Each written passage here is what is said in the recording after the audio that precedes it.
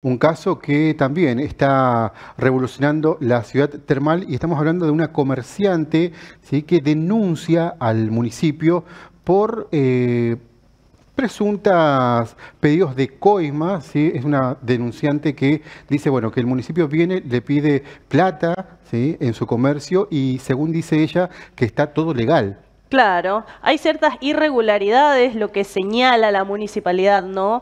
Que por eso es que van contra su negocio, donde intentan clausurarle más de una vez, seguramente, eh, señalando que siempre le va a faltar un papel, ¿no?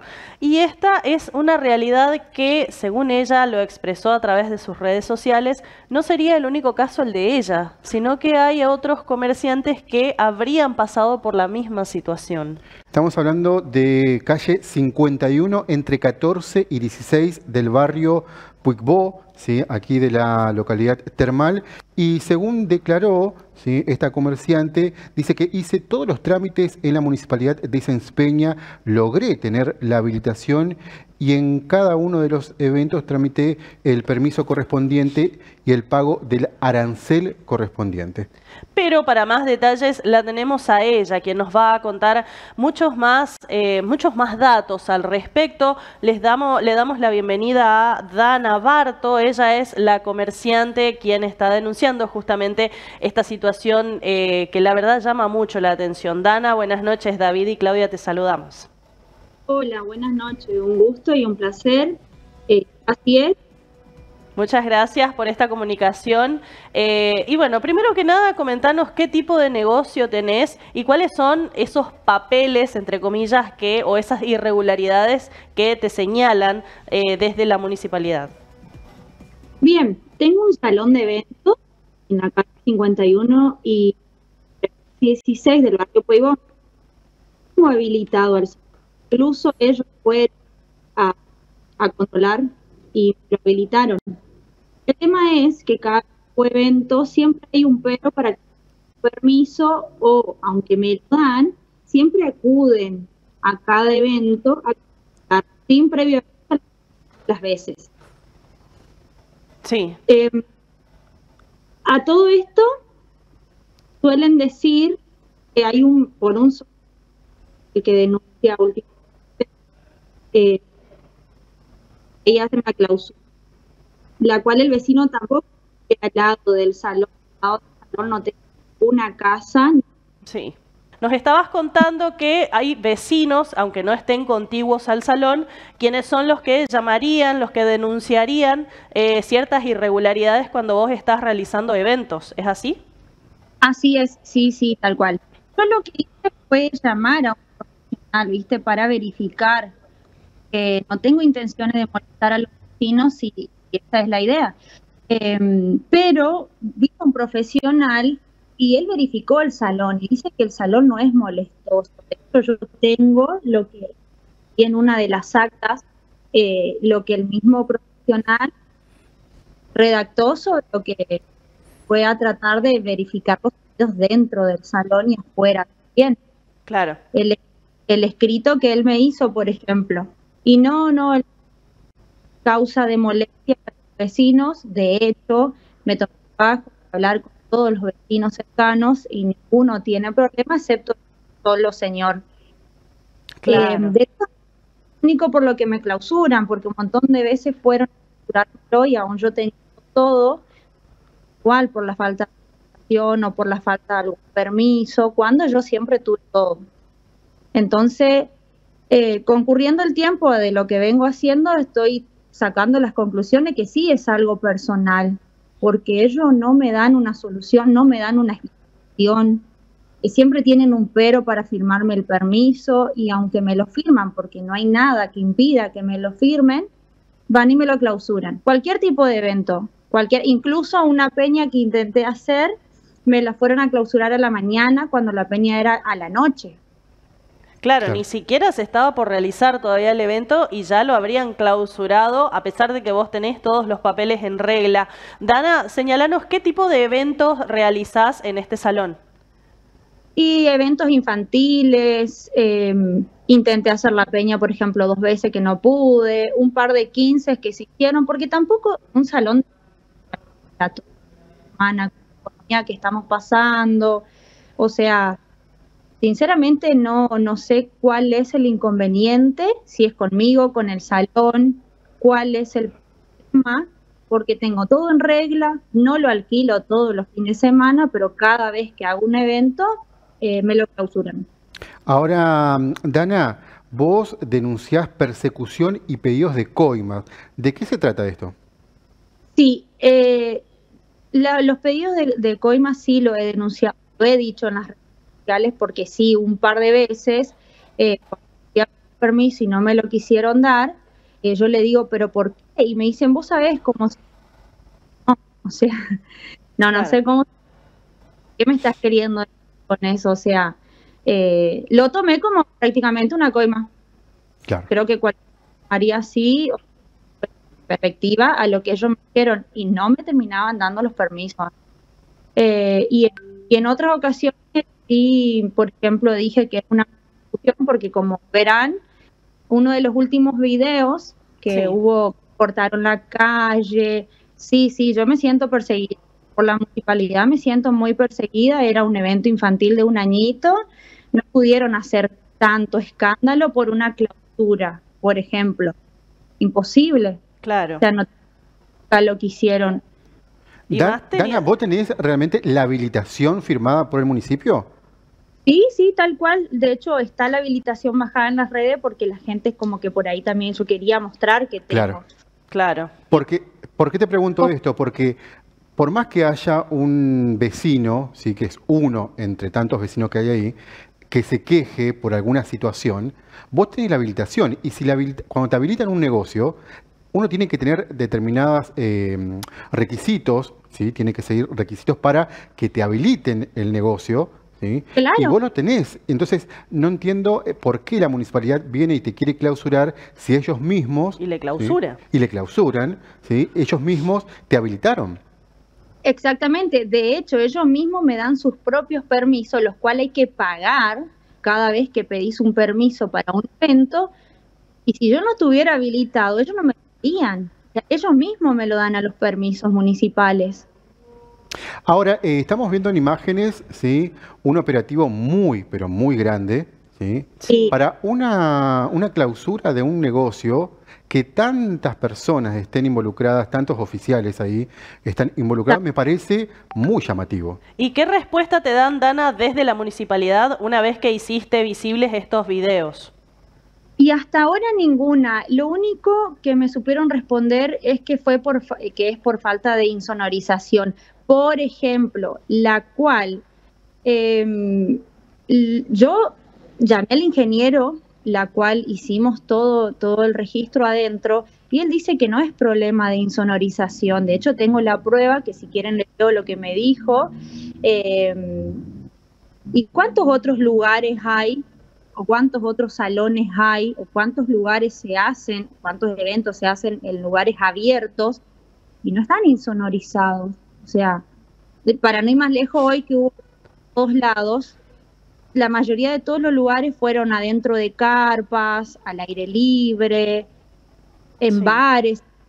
Esos lugares no están habilitados para hacer una peña, para hacer eventos así musicales. ¿Quién firma el permiso de personas? Sea, no, y ellos no me responden. Hasta ahora no he recibido respuesta. Y primero fue falta de habilitación, como, como vieron, como ya, ya las redes, hasta las redes publiqué, o sea, tengo todas las pruebas llamé el ingeniero, o sea, ahora no sé qué será, sinceramente, no me lo dicen y termino pensando que sí es algo personal, pero no sé qué, no sé qué. Dana, eh, te hago dos preguntas. Cerca del negocio, ¿hay alguna clínica o algún nosocomio? Eso es una. Mm. Y la otra es, ¿algún problema que tengas con los vecinos?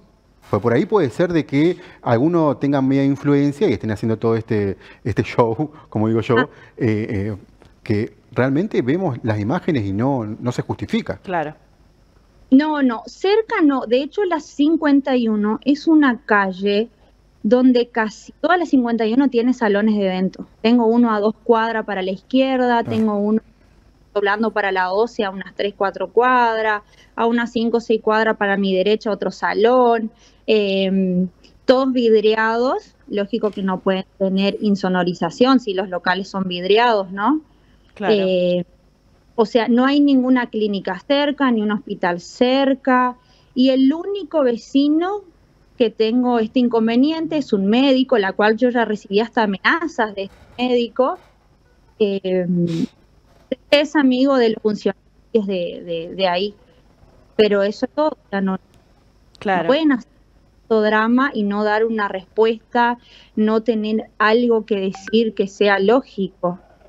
Claro, y señalaba justamente que en esa calle, en la calle 51, también hay otros locales eh, que hacen el mismo, el, mismo tipo de comercio, ¿no? Que hacen eventos. ¿Ellos sufren esta, esta persecución también? ¿O notaste que algún otro comerciante, sea del rubro que sea, sufre eh, lo mismo que vos sufrís con respecto a la municipalidad? Eh, sí, pero no todos. Ese, ese es el, el inconveniente también. Lo, los privilegiados, entre comillas, que hay muchos, no, no lo sufren. Claro. De hecho, hay privilegiados que están en menos condiciones que en mi salón o que en lugares, pero sí, por ejemplo, eh, también sufren este tipo de, de casos comerciantes que, que, no son rubro salón, pero sí kioscos, eh, tiendas. Sí sé de muchos casos parecidos al mío pero bueno, yo me animé a, a mostrarle que... público, claro. Dana, ¿y, ¿y, has consultado con algún abogado sobre esta situación? Porque, a ver, eh, si recapitulamos, ¿sí? la municipalidad te da la habilitación, entonces ellos están habilitando, están diciendo si sí, este negocio está apto para una apertura, ¿sí? y es contradictorio ir y clausurarte con todo lo que implica como pérdida, porque Claro. nos contaba Dana, eh, había organizado una peña y horas antes se lo clausuran. O sea, Claro.